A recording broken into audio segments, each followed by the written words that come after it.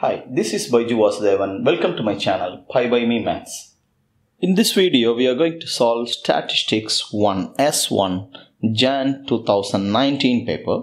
This paper consists of 6 questions. Question number 1.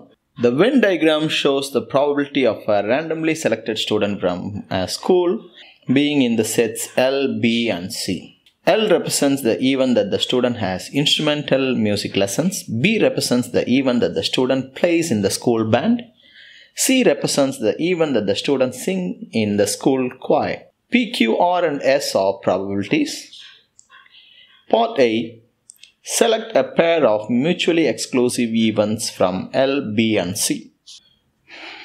In here, they want you to find two mutually exclusive events.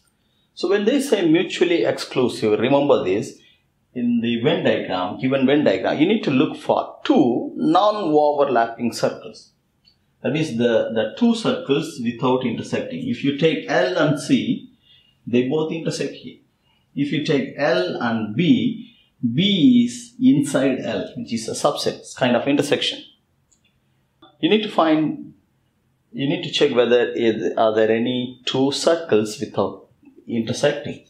So if you look at B and C, these two circles, they never touch, non-overlapping. So these two events are mutually exclusive events. That's the condition. When two events are mutually exclusive events, there will be no intersection. So the answer for part A is B and C. Events B and C are two mutually exclusive events.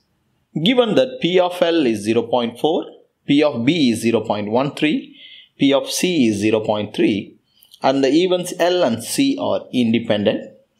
Part B, find the value of P. This question carries 2 marks.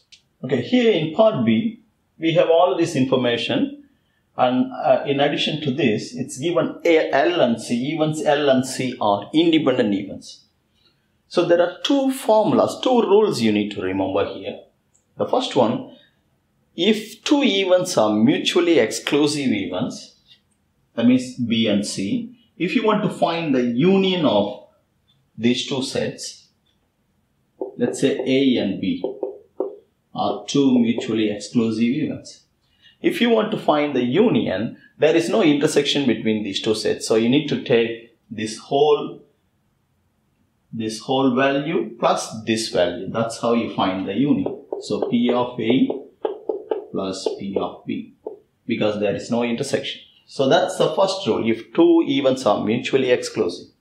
If two events are independent, take the opposite. A intersection B is P of A times P of These two are very important rules. You have to remember this rule. First one for mutually exclusive, second one for independent. So here it's given L and C are independent events. So you can write P of L intersection C is P of L times P of C. We know by looking at the Venn diagram, you can see L intersection C is P and take the value of P of L and P of C. So your P is 0.12.